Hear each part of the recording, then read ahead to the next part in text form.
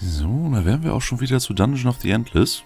Nachdem das letztes Mal ja doch ziemlich gut lief, jedenfalls für meine Verhältnisse, wenn man die ersten Leben so betrachtet, die ihr nicht sehen konntet, die halt off-camera waren, äh, wollte ich es einfach nochmal probieren. Zumal ich jetzt doch noch ein, zwei recht wichtige Tipps bekommen habe, die das Ganze ein wenig einfacher gestalten könnten.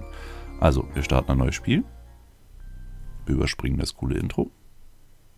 Und gucken dann mal, was für Helden wir haben. Wir haben den Roboterhelden, den kennen wir schon. Den hatten wir beim ersten Leben erst später dazu bekommen. Der konnte Sachen reparieren. Skill can repair modules. Okay. Äh, genau, und dieser Wert hier unten, Wit, also die Intelligenz quasi, gibt an, wie viel Boni man bekommt, wenn man diesen Helden an eine Ressourcenstation stellt und ihn da lässt. Und wenn ich dann mit einem anderen Helden eine Tür öffne, kriegt ja jede Ressourcenstation mehr Ressourcen. Und dadurch, dass da ein Held bei ist, mit einem höheren Wit-Wert, kommen dann noch mehr Ressourcen bei raus. Das habe ich natürlich im ersten Leben vollkommen nicht beachtet und dementsprechend sind uns sehr viele Ressourcen durch die Lappen gegangen.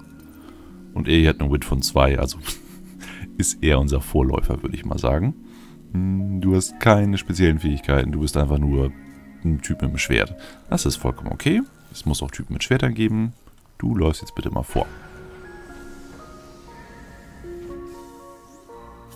So, aggressive Kreaturen gefunden, das ist okay. Da bauen wir sofort gleich eine Ressourcennode hin. Und zwar für Dingens, für Industry. Also erstmal mittlere Maustaste zum Aktivieren. Da, mehr Industrie. Flop. Du da drauf. Du hast einen höheren Wit-Wert, also es ist über dir dieses Zahnradsymbol. Nächster sehr wichtiger Punkt dass Gegner nur in Räumen spawnen können, die wir geöffnet haben. Das heißt, jeder Raum ist eine Sackgasse, solange bis wir eine Tür aufmachen. Dementsprechend kann man seine Verteidigung auch besser planen, wesentlich besser planen. Haben wir auch nicht gemacht. Also gucken wir mal, wie das denn läuft. Hm, was können wir noch machen? Nö, noch irgendwas hier bauen macht nicht wirklich Sinn. Also nächste Tür auf.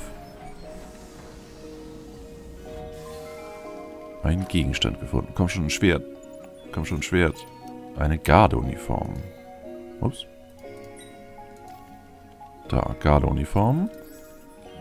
Kannst du anziehen. Macht Speed minus 1, dafür mehr HP und Defense. Ja, Speed ist nicht ganz so wichtig. Das ist ein Tank. Das passt schon. So, wir haben genug Essen für ein Level-Up. Das machen wir auch gleich. Mir ist aufgefallen, er hat kein Wit bekommen. Ist das jetzt, weil er eine Kampfklasse ist, oder kriegen die allgemein nicht Wit mehr dazu. Weil sonst könnte ich überlegen, den Androiden hier auch zu leveln, damit er mehr Wit bekommt. Ah ne, hier sieht man, was er bekommt. Attack Power, Defense und HP. Okay, nee.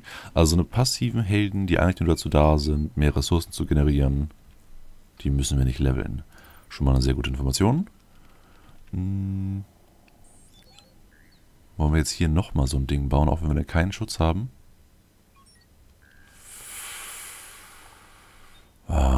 Also ich wollte diesmal etwas risikofreudiger vorgehen, damit wir mehr Ressourcen später über haben.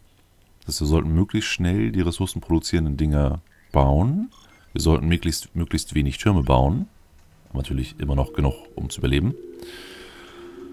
Äh, weil wir haben ja nur eine begrenzte Anzahl an Räumen. Das heißt, wenn es später keine Räume mehr gibt und wir dann ressourcengenerierende Dinger bauen, dann rentieren die sich gar nicht. Also hin da. Und ich halte schon mal einen Finger auf den Turm bauen. Öffne die Tür. Eine neue Blaupause für einen komischen Turm. Tesla-Modul. Oh, das war der starke Turm, ne? Das... Äh, ne, Medium Damage. Okay.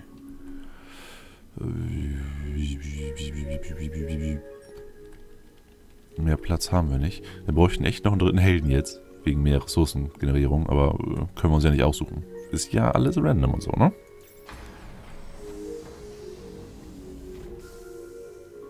Aggressive Kreaturen und Dust und eine Welle kommt. Okay. Jetzt sollten wir vielleicht doch mal Turm bauen. Vielleicht noch einen Turm bauen. Und dich vielleicht mal zurückschicken. Dich helfen schicken. Nein, nein, nein, nicht da oben das kaputt machen. Nicht da oben das kaputt machen. Das war ein bisschen zu knapp schon. Okay, du wieder dahin, du kannst doch ruhig hier bleiben. Hier kannst du gleichzeitig reparieren und das Ding da mehr Ressourcen rauskitzeln und überhaupt. Und bist sicherer. Was hatten wir jetzt hier? Gar nichts. Gar nichts ist nicht schön. Hm. Ja, wir hätten jetzt genug Industrie, um noch so ein Ding zu bauen, aber wir haben keine Fläche, um das zu bauen. Das ist ärgerlich. Äh, na gut, hilft nichts. Tür offen. Wieder nichts zum Bauen, das ist doch doof. Aggressive Kreaturen, die sollten wir runterlocken. Lauf, lauf, lauf, lauf, lauf. Regenerierst du jetzt? Nein, weil die Runde in Anführungszeichen noch nicht rum ist. Hau kaputt, hau kaputt, hau kaputt. Und sobald alle Gegner tot sind, dann fängt er erst an zu regenerieren. Genau. Ist ja eigentlich rundenbasierend. Es hat nur zwischendurch diese Echtzeit wirkenden Elemente. Also wo die Kreaturen sich bewegen. Hm. Nee, komm, ich will zurück. Ich hätte jetzt nämlich gerne einen Raum, wo ich noch eine Station bauen kann. Sonst bringen die ganzen Ressourcenpunkte mir nichts. Nein, schon wieder nicht. Oh, sechsmal Essen. Ja, das ist schön. Können wir für dich wieder ein Level abholen, richtig? Nein, 20 erst. Und endlich wieder neuer Platz.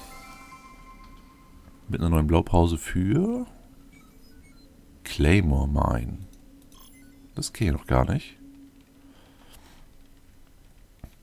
Fügt sehr, sehr hohen Schaden bei Kreaturen an in diesem Raum.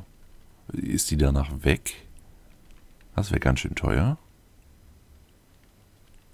Und was bedeutet das Plus hier? Ach, können wir die Türme upgraden? Will ich jetzt nicht unbedingt klicken, sonst verschwindet da wieder irgendwas. Na gut, wir brauchen jetzt die Ressourcendinger. Äh, äh, wir haben fast keine Essensgenerierung. Wir haben ziemlich viel Industrie, also sollten wir jetzt vielleicht mal ein Essensding bauen. Achso, muss erst mit Dust. Wir haben nicht genug Dust. Äh. Letztes Mal ging sich das irgendwie schön auf. Aber vielleicht hatten wir dann nur Glück. Da konnten wir fast jeden Raum, den wir gefunden haben, auch gleich erweitern. Und jetzt bräuchten wir sogar zwei. Und das können wir uns absolut nicht leisten. Yikes. Hm, okay.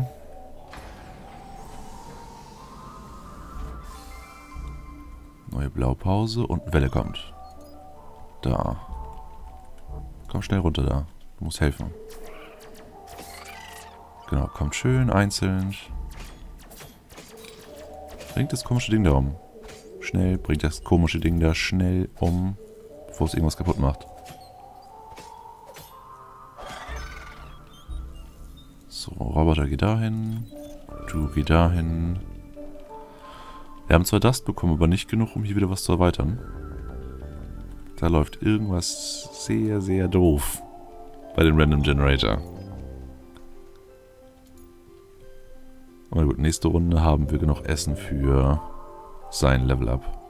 Was haben wir hier? Wieder einen Raum, den wir nicht benutzen können. Äh, 30 Essen.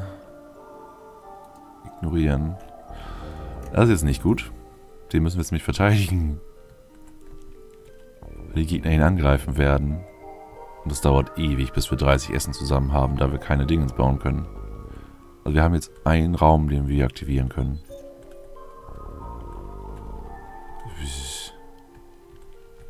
Ja, da oben kommen wir nicht hin. Ja, nö, geht nur der Raum hier.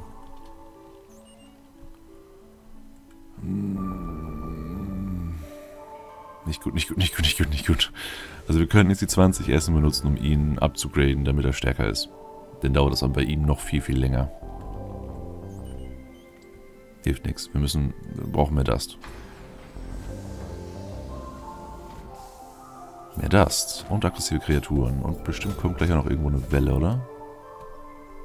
Das sind ganz schön stark aggressive Kreaturen. Nein, nein, nein, nein, nein. Nicht zu ihm gehen.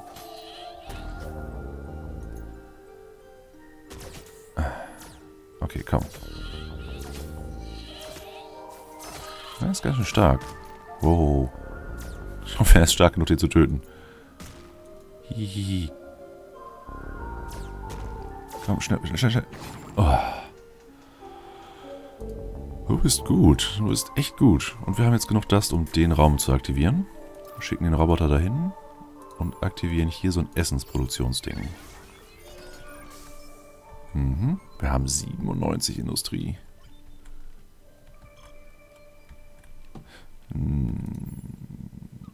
Na komm.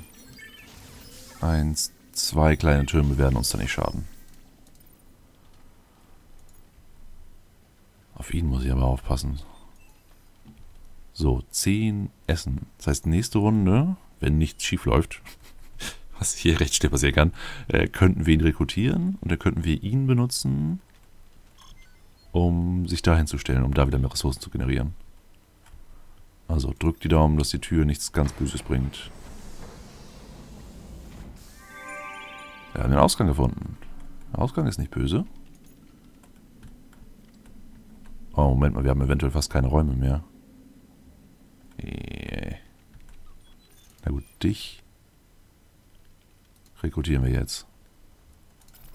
Du stellst dich da unten in den Raum. Du öffnest jetzt die Tür, aber ich denke nicht, dass wir dadurch Ressourcen bekommen. Obwohl hier steht geöffnete Türen, 11. Also kriegen wir doch vielleicht pro Tür unsere Ressourcen? Gucken wir mal. Ja, kriegen wir. Sehr gut. Das heißt, nur von hier können Gegner kommen. Wir haben tierisch viele Ressourcen. Sehr gut, sehr gut, sehr gut, sehr gut. Also ich denke, wir kommen dieses Mal definitiv weiter als beim letzten Mal. Und Sackgasse. Ja, aggressive Kreaturen und Wellen kommen. So, du geh mal zurück in den Raum. Was? Wo kommen Wellen? Da. Und da und du läufst weg. Läufst weiter weg und... Nein! Tesla-Turm.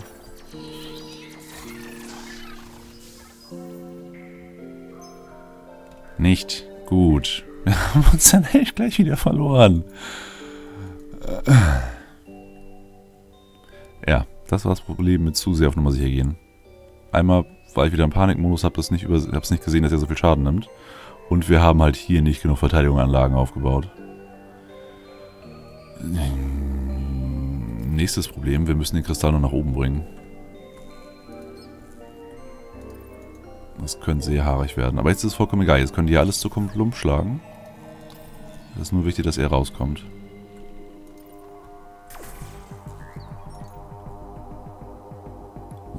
Welche. Hau, hau, hau. Hau, hau, hau. Sehr gut, nächste Welle kommt. Strom wird ausgeschaltet, ja. Du. Geht ja hoch. Du, geh weg. Wo bleibt man hier drin, solange wir noch... Äh, äh, äh. Wo ist die Welle? Die Welle. Aber das bringt ja auch jedes Mal Dust, oder? Nö. Wow, wow, wow, wow. Du weg, weg, weg, weg, weg, weg. Du töte. Äh, du dahin. Du Tesla-Turm da bauen. Heilung, Heilung. Nein, nein, nein, nein, nein, nein, nein, nein. Tot. Es sah so gut aus. Wir hatten so verdammt viele Ressourcen. Dann stirbt der erste Held und dann das da. Aber na gut. Ich habe gesehen, man kann wesentlich mehr Ressourcen rausholen. Man sollte die vielleicht aber auch gleich wieder investieren, damit es ein bisschen sicherer wird alles. Und dann müssen wir auch noch gucken, wie das genau funktioniert mit den mit dem Kristall, wenn man den aufhebt. Welche Räume dann noch gepowert werden und welche nicht. Das heißt, theoretisch müsste man ja mehrere so eine Sicherheitspunkte haben, wo mehrere Türme sind. Das heißt, wenn man den Kristall später bewegt, dass man bei diesen Sicherheitsposten immer Zwischenstopps macht, denn die Welle bekämpft, dann zum nächsten Punkt geht, da die Welle bekämpft und zum nächsten Punkt geht und so weiter und so weiter. Ja, also nicht ganz so gut wie letztes Mal, was Räume und Level und so angeht. Aber wir hatten wesentlich mehr Ressourcen. Das bringt einem nur nichts, wenn man tot ist. Das hat schon fast was Philosophisches. Ja, aber gut. Das soll es auch erstmal gewesen sein. Vielleicht sehen wir uns demnächst wieder für noch ein Leben. Bye, bye.